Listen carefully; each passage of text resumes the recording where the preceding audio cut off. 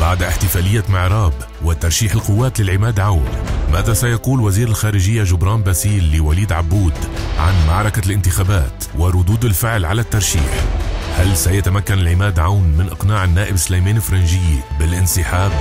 ماذا عن موقفه من آلية عمل مجلس الوزراء؟ ماذا سيكشف عن أسرار ملفات النفط والكهرباء؟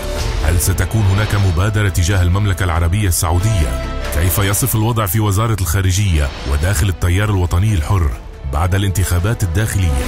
رئيس التيار الوطني الحر وزير الخارجية جبران باسيل ضيف وليد عبود بموضوعية. هذا الأربعاء التاسع والنصف مباشرة على ال MTV الحوادث بتصير أمن أغراضك الشخصية ب 3 دولار بالشهر مع البنك اللبناني الفرنسي.